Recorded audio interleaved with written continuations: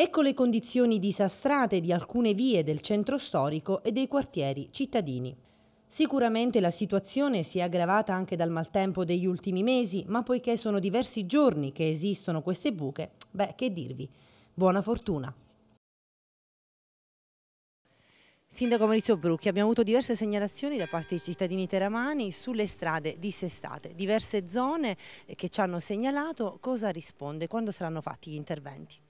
Ma io dico i cittadini hanno ragione, insomma, siamo consapevoli che ci sono diverse strade che sono da sistemare. Quest'anno nel 2010 abbiamo fatto 600 mila euro di asfalti, di manutenzioni, che non sono pochi ma non sono nemmeno tanti, con i quali abbiamo sistemato la viabilità principale. Eh, nel prossimo anno, nel 2011, vedremo di sistemare le tante strade che hanno problemi. Sistemato la viabilità principale, siamo consapevoli che c'è la viabilità secondaria che ha tanti problemi, lo sappiamo, nel 2011 cercheremo di mettere riparo anche a questa situazione. Paghiamo anche eh, un anno di fermo per le manutenzioni che è il periodo commissariale, ma insomma comunque questa non è una scusa, noi ci assumiamo le nostre responsabilità, piano piano sistemeremo anche le strade secondarie o comunque che, quelle che hanno più problemi. E sulle condizioni del manto stradale interviene anche il PD, ieri in un comunicato afferma la Giunta Brucchi continua a rinviare ogni intervento al futuro piano triennale delle opere pubbliche. Cosa risponde? Ma mi rispondo che il, il PD mi fa piacere che è il partito degli asfalti,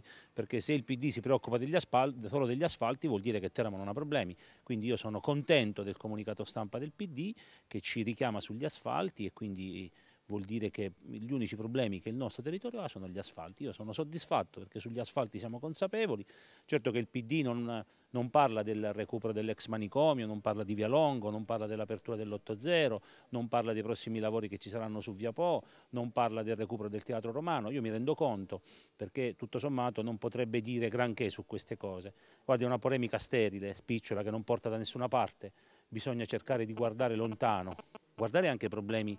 diciamo, del, quotidiani. E noi su questo eh, siamo presenti anche se abbiamo alcune difficoltà sugli asfalti, l'abbiamo appena detto, però insomma se il PD fa comunicati sugli asfalti, insomma ecco, questa è l'unità di misura in qualche modo che il PD ha e io ne, ne, sono soddisfatto e sono contento, gli asfalti li metteremo a posto con un po' di pazienza daremo le risposte, ma insomma credo che Teramo abbia tante cose sicuramente eh, come dire, più importanti e di, malor, di maggior pregio, qualco, qual, programmi e progetti che daranno una nuova luce alla nostra città e li ho, li ho appena enunciati, quindi su questo stiamo in qualche modo lavorando,